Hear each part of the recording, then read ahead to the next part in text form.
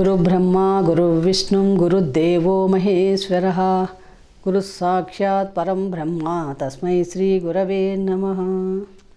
నీలాంజన సమాభాసం రవిపుత్రం యమాగ్రజం ఛాయా మార్తాండ సంభూతం తం నమామి చనేశ్వరం శ్రీ గురుభ్యో నమ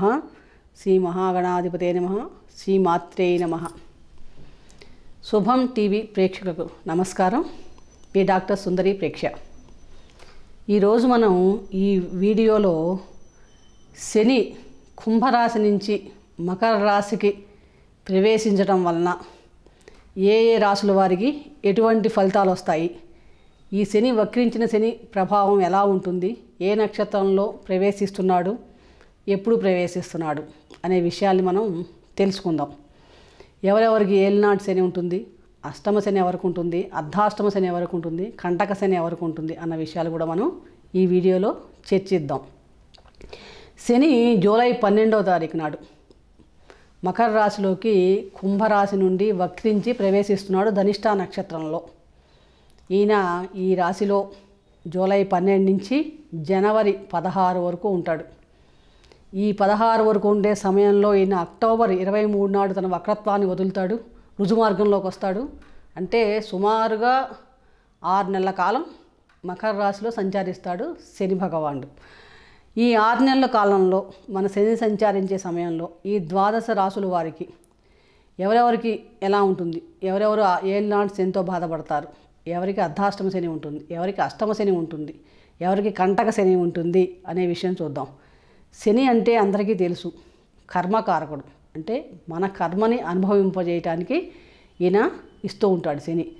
ఈ కర్మఫలాన్ని అనుభవింపజేస్తాడు కాబట్టి అందరికీ శనేశ్వరుడు అంటే చాలా భయం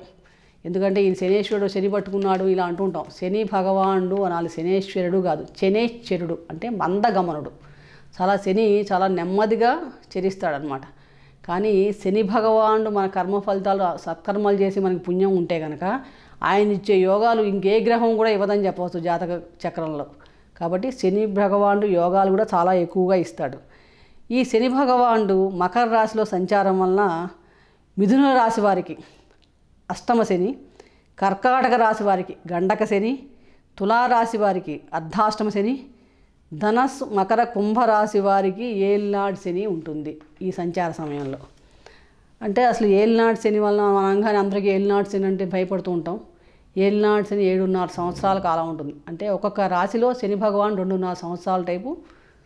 సంచారం చేస్తూ ఉంటాడు ఒక మొత్తం రాశి చక్రాన్ని పూర్తి చేయడానికి ముప్పై ఏళ్ళు పడుతుంది అంటే ఒకరి జీవితకాలంలో ముఖ్యంగా మ్యాక్సిమం ముందు రెండు సార్లు ఎక్కువగా రెండు సార్లు ఈ ఏళ్ళనాటి శని వచ్చే అవకాశం ఎక్కువగా ఉంటుంది ఎవరికైనా సరే మూడోసారి చాలా తక్కువ మందికి వస్తుంది ఎవరైనా పూర్ణాయుష్ ఉండి చాలా ఎక్కువగా ఉన్న వాళ్ళకి మూడోసారి కూడా వస్తుంది కానీ ఈ ఏళ్ళనాట్స్ అనేది మనకి సహజంగా రెండు మొదటి అరవై ఏళ్ల లోపు అరవై ఐదేళ్ల లోపల ఎక్కువగా రెండు సార్లు వచ్చే అవకాశం ఎక్కువగా ఉంటుంది అసలు ఏలినాడు శని అంటే ఏంటంటే శని జన్మరాశి అంటే మనం పుట్టినప్పుడు చంద్రుడు ఉండే రాశినే జన్మరాశి అంటాం ఆ జన్మరాశికి పన్నెండో రాశిలో సంచారం చేసిన జన్మరాశిలో సంచారం చేసిన జన్మరాశికి ద్వితీయ భాగం ద్వితీయ రాశిలో సంచారం చేసినా కూడా ఏలినాడు శని ఉంటుంది అంటే జన్మరాశికి ద్వాదశ లగ్న రాశిలోనూ ద్వితీయంలోను శని సంచారం చేస్తే గోచార ప్రకారంగా ఆ సమయంలో ఏళ్ళనాటి శని ఉంటుంది ఒక్కొక్క సంవత్సరం రాశిలో రెండున్నర సంవత్సరాలు ఉంటాడు కాబట్టి మొత్తం ఏడున్నర సంవత్సరాల కాలం ఈ మనకి ఏళ్ళనాటి శని ప్రభావం ఎక్కువగా ఉంటుంది ఈ బట్టి ఈ శని సంచరించే ఆరు నెలల కాలం ఇప్పుడు మనకి ఈ సమయంలో ఇప్పుడు మకర రాశిలో ప్రవేశించే సమయానికి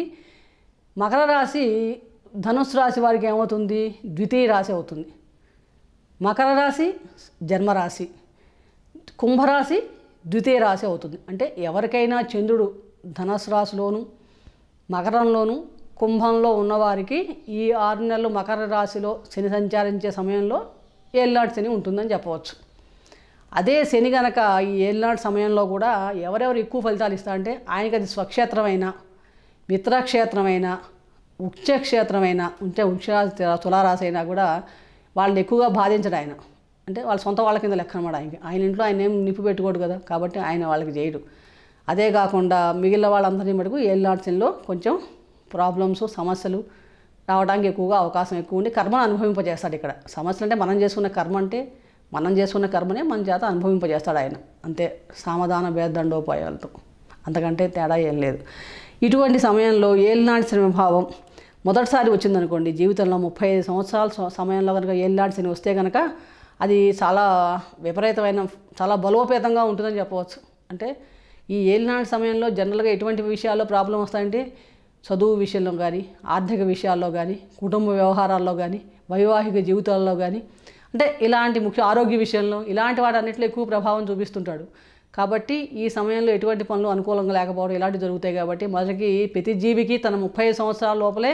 ముఖ్యమైన కార్యక్రమాలను అయిపోతాయి కదా కాబట్టి ఆ సమయంలో ఈయన దీనివలన చాలా ఇబ్బంది పడతాడు జాతకుడు ఈ ముప్పై ఐదేళ్ళ లోపు వస్తే రెండోసారి వచ్చేటప్పటికి రెండోసారి ఏలినాటి శని జీవితంలో కాలంలో ప్రవేశిస్తే అప్పుడు అంతగా బాధించడం కొన్ని ఆరోగ్య సమస్యలు మటుకు ఇస్తాడు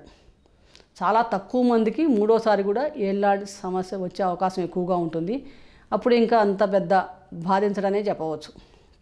ఈ రకంగా అప్పటికే ఆయన కర్మలన్నీ అనుభవించేసి ఉంటారు కాబట్టి ఇది ఏళ్ళనాటి శని గురించి మనకి ముఖ్యంగా కాబట్టి ఈ ఏ ఒకవేళ ఏళ్ళనాటి సమయం శని జరిగే సమయానికి ఎవరికైనా సరే వారికి ఆల్రెడీ శని దశ అయిపోయింది అనుకోండి వారిని కూడా ఎక్కువ బాధించడు ఆయన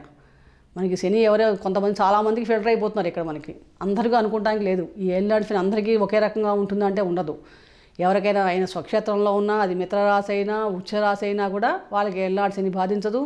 అదేవిధంగా శని దశ అయిపోయిన వారికి కూడా ఏళ్ళనాటి శని బాధించడు అంటే మిగిలిన వారికి మాత్రమే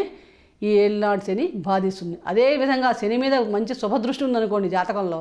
అప్పుడు కూడా అంతగా ఇబ్బంది పెట్టడు అంటే కర్మ అనుభవింపజేస్తాడు కానీ అంతగా ఇబ్బంది పెట్టడు అనమాట కాబట్టి ఈ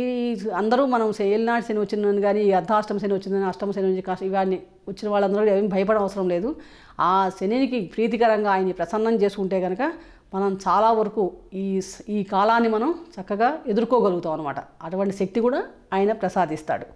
అదేవిధంగా ఇప్పుడు ఈ రకంగా ఉన్నప్పుడు ఈ మకర రాశిలో శని ప్రవేశించే సమయానికి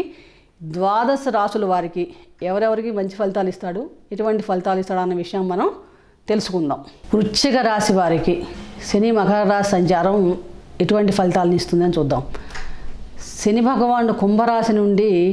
వక్రించి మకర రాశిలో జూలై నెల పన్నెండో తారీఖు ప్రవేశిస్తున్నాడు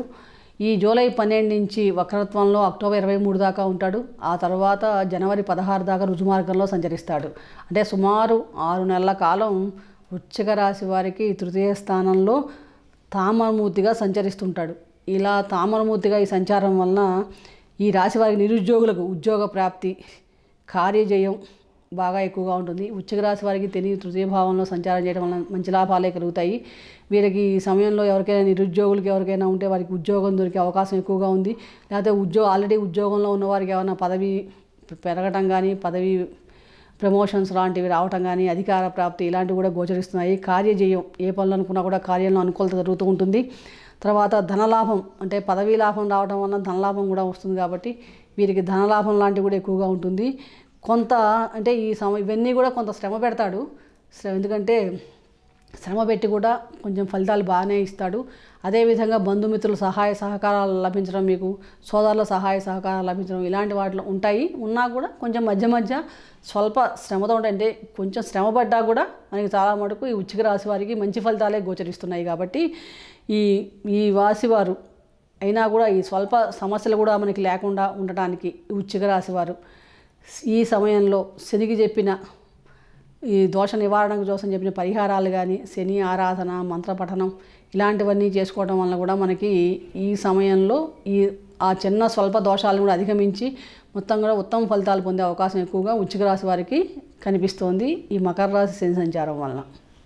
కాబట్టి అనుకూల ఫలితాలు పొందేందుకు దైవారాధన దైవ బలాన్ని మనం పెంచుకోవాల్సిన అవసరం ఎంతైనా ఉంది ఈ శని ఇప్పుడు ఏలినాడు శనిలో మనం అందరికీ తెలుసుకున్నాం ఏ రాశి వారికి ఎలా ఉంటుందనే విషయం తెలుసుకున్నాం కదా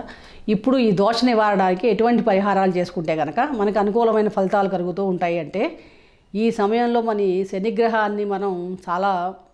అనుకూలతంగా చేసుకోవాలి ఆయన్ని అనుగ్రహించుకో చేసుకోవాలి ఆయన గ్రహం మన మీద అనుగ్రహం వర్షించేట్టుగా అందుకని ఆయన శనికి తైలాభిషేకం చేయాలి శని తిలాలతో నువ్వుల నూనెతో తైలాభిషేకం చేయటం శివాభిషేకం చేయటం వలన మనకి చాలా ఉత్తమ ఫలితాలు కలుగుతాయి అదేవిధంగా శని స్తోత్ర పఠనాలు చేయటం కానీ శనివార నియమాలు పాటించడం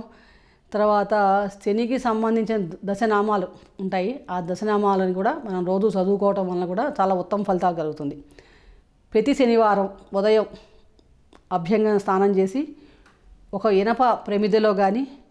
ఒక ఇనప గరిటెలో కానీ అంటే ఒక ప్రమిదని ఇనప ప్రమిద తీసుకొని ఎరుపు తెలుపు నలుపు ఈ మూడు వస్త్రాలతో కూడా ఒక ఒత్తిని తయారు చేసుకోవాలి మనం ఈ వస్త్రంతో ఎరుపు రంగు తెలుపు రంగు నలుపు రంగు కొత్తవి అంటే వాడిన వస్తువులు వస్త్రాలు కావు కొత్త వస్త్రాలతో ఒక ఒత్తిలా తయారు చేసుకొని ఆ ఒత్తిని ఆ ప్రమిదిలో పెట్టి నువ్వుల నూనె పోసి ఆ ప్రమిది నుండి ఆ నువ్వుల నూనె పోసి ఆ ఇంటిలో పదమ పడమటి వైపు అంటే వెస్ట్ సైడ్ పడమటి వైపు ఈ శని దీపారాధన చేసుకోవాలి మనం కంపల్సరీగా ప్రతి శనివారం ఈ ఏళ్ళనాడు శని కానీ ఇలా ఎవరికైనా అనుకూల ఫలితాలు లేని వారికి వాళ్ళని ఎవరైనా బాధలు పడుతున్నా ఇప్పుడు నేను చెప్పిన సమస్యలు ఎవరికైనా ఉన్నవాళ్ళు కానీ వారందరూ కూడా కంపల్సరీ ప్రతి శనివారం నాడు కూడా ఇలా ఈ మీద శని దీపం పెట్టుకుంటే కనుక చాలా ఈ ఫలితాలు చాలా ఉత్తమ ఫలితాలు ఇస్తాయి అలాగే శనివారం నాడు నల్ల నువ్వుల్ని దానం చేయటం వల్ల కూడా అనుకూల ఫలితాలు పొందుచేస్తారు అంటే మనం ఏ పరిహారం చేసినా కూడా ముఖ్యంగా అర్థం చేసుకొని శ్రద్ధాభక్తులతో నమ్మకంతో